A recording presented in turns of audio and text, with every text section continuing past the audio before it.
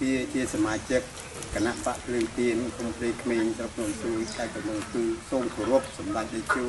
ប្រធានគណៈបកប្រជាជនកម្ពុជាជាទីគោរពដ៏ពងពុកបំផុត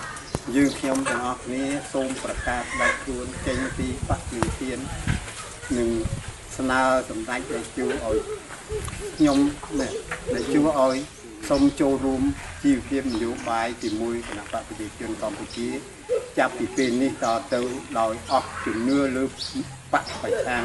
ជាពិសេសថ្នាក់ដឹកនាំពុករលួយបកគុនិយមថ្មីថ្មីនេះគ្រាន់ដិតសំរងស៊ីប្រឆាំងនឹងគម្រោងប្រែជីពូណនដែលជួគឺជាទង្វើក្បត់ជាតិក្នុងការរៀបរៀងនិងអភិវឌ្ឍជាតិ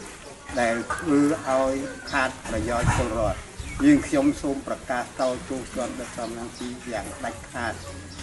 ជាអ្នកនយោបាយទុច្ចរិតបំផ្លាញឆ្នាំងបាយនេះជាចុងបញ្ចប់យើងខ្ញុំសូមគោរពជូនពរសម្ដេចជួបនៅពុទ្ធពរទាំង4ប្រការអាយុវណ្ណៈសុខៈពលៈកំបីគ្មានទៀតឡើយសូមអរគុណ